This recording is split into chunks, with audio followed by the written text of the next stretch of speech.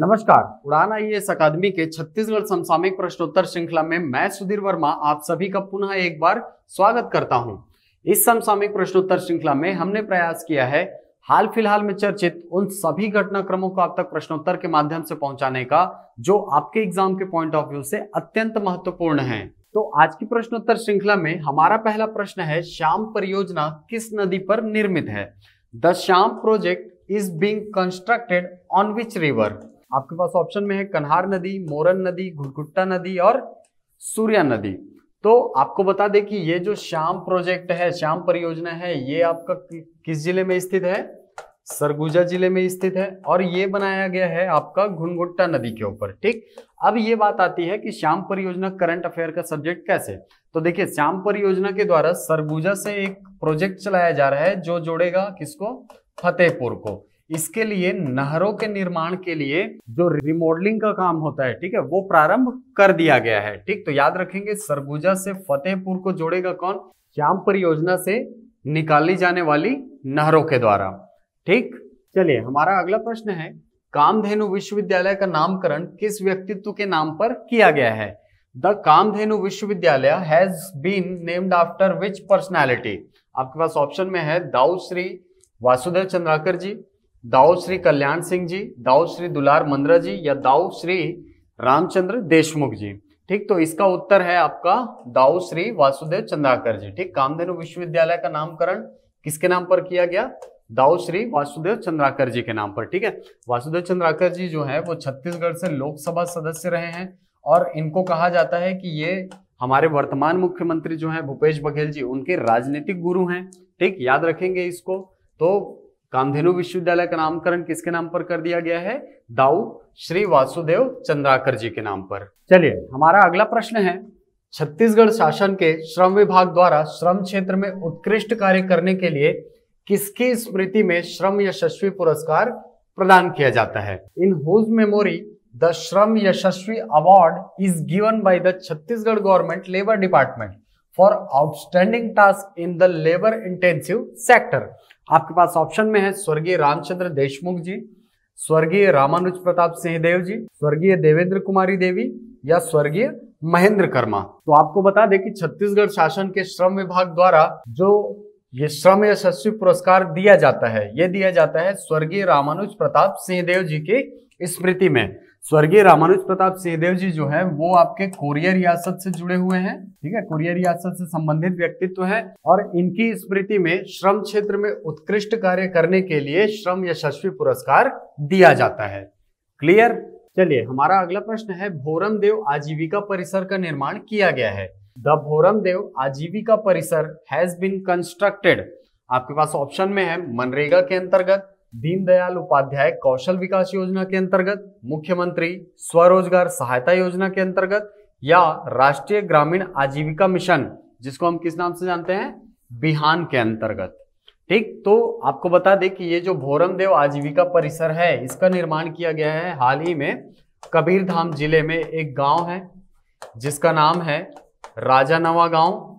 इस राजा नवा गाँव में भोरम देव आजीविका परिसर की स्थापना की गई है, ठीक? और ये जो भोजी, और ये जो भोरम देव आजीविका परिसर है, इसको बनाने का उद्देश्य क्या है? लोगों को स्वरोजगार से जोड़ना और उनके कौशल में विकास करना, ठीक है? यही बोल सकते हो, लोगों के कौशल विकास को बढ़ावा दे करके उन्हें स्वरोजगार का अवसर उपलब्ध कराना, ठीक? तो ये जो परिसर है है ना, ये बनाया गया है आपका राष्ट्रीय ग्रामीण आजीविका मिशन के अंतर्गत, ठीक है? जिसको हम लोग बोलते हैं NRLM. National rural livelihood mission, इसको छत्तीसगढ़ में क्या नाम दिया गया है? बिहान। ठीक? इसके अंतर्गत ये जो भोरम देव आजीविका परिसर है, इसका निर्माण किया गया है। ठीक? चलिए, हमारा अगला प्रश्न है भूमिहीन लोगों को काबिज ज़मीन का पट्टा देने संबंधी राज्य प्रवर्तित योजना कौन सी है? The state sponsored scheme for providing land lease certificate of possessor land to landless people is. ठीक, आपको बोल रहा है कि वह योजना कौन सी है जिसमें भूमिहीन लोगों को उनके द्वारा रहे जाने वाले हैं ना? देखिए, वो उस ज़मीन पर रह रहे हैं जिसका मालिकाना हक उनके पास नहीं है। काबिज ज़मीन है वो, ठीक? उसका पट्टा जो है राज्य सरकार के द्वारा उनको दे दिया जाता है, ठीक? तो वो योजना कौन सी है?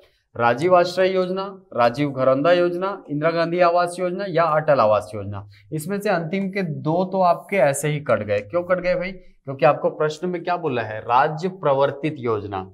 ठीक है? और ये दोनों क्या है? केंद्र प्रवर्तित योजना है। यानी इनका संचालन जो है वो किसके द्वारा किया जा रहा है? केंद्र सरकार के द्वारा किया जा रहा है। ठीक? तो ना तो ये उत्तर हो सकता है, ना ही ये हो सकता है। ठीक? इसका उत्तर क्या है? राजीव आश्रय योजना। ठीक? ये याद रखेंगे। ठीक? और हाल ही में ये योजना चालू की गई है और इसके अंतर्गत ये अनुमान लगाया गया है कि लगभग दो लाख, है ना राज्य भर के कुल दो लाख निवासी जो हैं, इस योजना के द्वारा लाभान्वित होंगे। क्लियर चलिए, हमारा अगला प्रश्न है, मिशन क्लीन खारून का संभावित खर्च कितना है? The estimated expenditure of clean mission Kharun is 100 crore 200 crore 300 crore या 150 करोड़ ठीक? तो इसका आंसर है 300 करोड़। याद रखिए इसको, ठीक? क्योंकि नदियों से भी प्रश्न आते हैं और हाल ही में बहुत सारे नदी प्राधिकरणों की भी स्थापना की गई है, ठीक? और ये मिशन क्लीन खारून जो है, ये स्पेशली जुड़ा है आपका रायपुर ज़िले से, ठीक? तो ये महत्वपूर्ण हो जाता है भाई, याद रखेंगे इसको, ठीक? हाल ही में इंद्रावती प्राधिकरण का भी गठन किया गया है जिसमें इंद्रावती की साफ़ सफ़ाई की जाएगी, वैसी ही एक योजना है मिशन क्लीन खारून, जिसमें खारून नदी को इसके उद्गम से लेकर इसके अंतिम छोर तक इसकी सफ़ाई की जाएगी, ठीक? तो उसकी एस्टिमेटेड लागत कितनी है? 300 करोड़ रुपए। चलिए, हमारा अगला प्रश्न है, हाल ही में मुख्यमंत्री ने किस स्थान पर बाँस आधारित कारखाना खोलने की बात कही है? ठीक, the chief minister has recently dialogue to open the bamboo based factory in which place. आपके पास ऑप्शन में है भिलाई, नारायणपुर, भोपालपट्टनम या कांकेर। ठीक तो आपको बता दें कि हाल ही में जो ग्यारहवा संस्करण लोकवाणी का प्रसारित हुआ है, उसमें मुख्यमंत्री ने ये बात कही है कि भोपालपट्टनम में एक बाँस पर आधारित फैक्ट्री खोली जाएगी। ठीक है, क्यों खोली जाएगी? क्योंकि बाँस जो है वो बस्तर संभाग में बहुतायत मात्रा में उत्पन्न होते हैं और उससे एक संभावना है कि लोगों को रोज़गार दिया जा सकता है। तो आपका उत्तर हो जाएगा ऑप्शन नंबर सी। क्लियर? चलिए, हमारा अगला प्रश्न है, राज्य में नया कृषि भवन प्रस्तावित है। Where the new agricultural department building is propose in the state देखिए, ये जो एग्रीकल्चरल डिपार्टमेंट बिल्डिंग है, इसी का नाम क्या रखा गया है? कृषि भवन। याद रखेंगे इसको। ठीक, आपके पास ऑप्शन में है नवा रायपुर, इंदिरा गांधी कृषि विश्वविद्यालय प्रांगण में, पंडित रविशंकर विश्वविद्यालय प्रांगण में, भिलाई में। ठीक तो ये जो कृषि भवन है नया, है ना, वो कहाँ प्रस्तावित है भाई? नवा रायपुर में। याद रखेंगे इसको। चलिए, हमारा अगला प्रश्न है, हाल ही में अधोसंरचना के रख रखाव एवं उन्नयन हेतु गठित प्राधिकरण के अध्यक्ष कौन होंगे? The chairperson of authority recently constituted for maintenance and exaltation of infrastructure will be आपको पूछ रहा है कि अभी हाल ही में एक प्राधिकरण गठित की गई है भाई, किसके लिए? जो अधोसंरचना है ना, यानी इंफ्रास्ट्रक्चर का रख रखाव करेगी और उनको, उनका उन्नयन करेगी। ठीक? इसका अध्यक्ष कौन होगा? आपको प्रश्न में ये पूछ रहे हैं। तो इसका अध्यक्ष कौन होगा भाई? मुख्यमंत्री होंगे। इसको याद रखेंगे। चलिए, हमारा अगला प्रश्न है। विगत विधानसभा निर्वाचन 2018 की तुलना में इस बार मरवाही में मतदाताओं की संख्या में कितनी वृद्धि हुई है? How much number of voters of Marwahi has been increased this time as compared to the previous legislative assembly election 2018 ठीक तो इसका आंसर है छह हज़ार आठ सौ छियासी। देखिए, ये जो मरवाही विधानसभा क्षेत्र है, आपको पता होगा कि वर्ष 2018 में जो विधानसभा निर्वाचन हुए थे, उसमें श्री अजित प्रमोद कुमार जोगी जी जो हैं, वो विधायक के रूप में चुनकर आए थे। ठीक, उसके बाद उनके निधन के बाद, हाल ही में उनका निधन हुआ उसके बाद वो सीट रिक्त हो गई है। तो उसके लिए एक उपचुनाव कराया जा रहा है, जिसमें कुल मतदाताओं की संख्या के संबंध में मैंने बताया था कि एक लाख नब्बे हज़ार के आसपास कुल मतदाता हैं, जो कि सारे के सारे ग्रामीण क्षेत्रों से संबंधित हैं।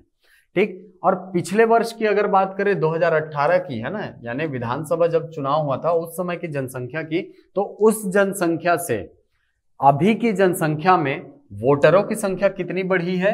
छह हज़ार आठ सौ छियासी। ठीक? याद करना भी बहुत आसान है क्लियर तो ये थे हमारे आज के समसामिक प्रश्नोत्तर श्रृंखला के अंतर्गत कुल दस प्रश्न और उनके आंसर कीज। आशा करता हूँ आपको वीडियो पसंद आया होगा। यदि वीडियो पसंद आया तो इसे लाइक करें शेयर करें, हमारे यूट्यूब चैनल को सब्सक्राइब करें। मिलते हैं अगली कक्षा में कुछ नई जानकारियों के साथ, कुछ नए प्रश्नों के साथ। तब तक के लिए थैंक यू